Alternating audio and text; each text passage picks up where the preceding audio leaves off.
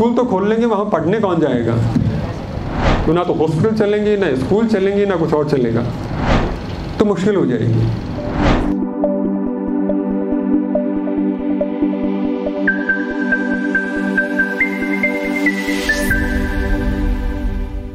नमस्कार, सर।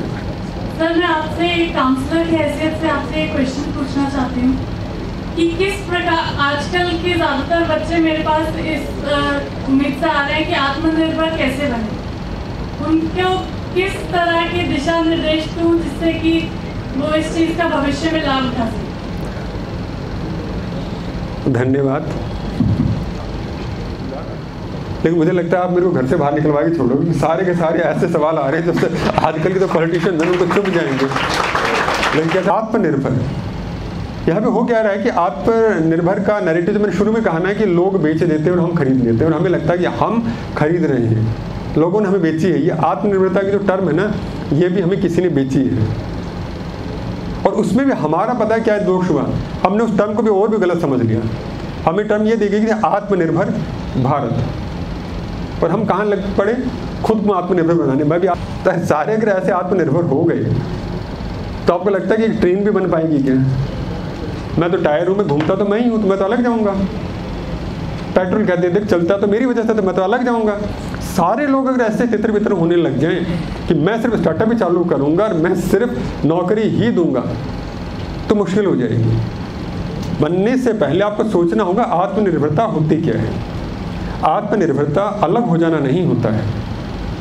आत्मनिर्भरता है कि आर्थिक रूप से आप इतने संबल हो, इतने सुदृढ़ हो कि आपको दूसरे के ऊपर निर्भर नहीं रहना पड़े। वो आप दूसरे की सहायता करके भी रह सकते हैं।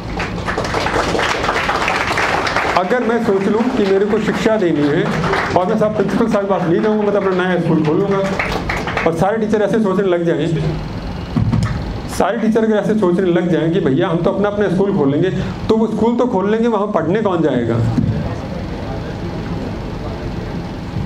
तो आत्मनिर्भर जो बनाना है ना, वो हमें भारत को बनाना है, एकजुट होकर बनाना है, और वो तब बनेगा कि जब आप अपनी कैलिबर को, अपनी इंटरेस्ट को ध्यान रखोगे कि आपका इंटरेस्ट किस तरफ़ है, उसको बेस्ट करना है, और फिर दूसरों से प्रेम से, देख भाई मैं ये कर सकता हूँ तो ये कर सकता है ना, चलो अब मिलते हैं, और अब हम आगे काम ये करते हैं। स्टार्टअप एक रहना चाहिए और उसका नाम होना चाहिए इंडिया अब इंडिया से दोबारा लोगों को ऑब्जेक्शन हो सकता है कि यार इंडिया कैसे बोल रहा है? भारत क्यों नहीं बोल रहा है? तो स्टार्टअप एक ही है, उसका नाम है भारत। आप अपने हिस्से का काम करके इस भारत को सुदृढ़ बनाने में वैश्विक स्तर पे उसका नाम ऊँचा लेकर जाने के लिए कैसे सहयोग कर सकते हैं, उस पर सोचना होगा।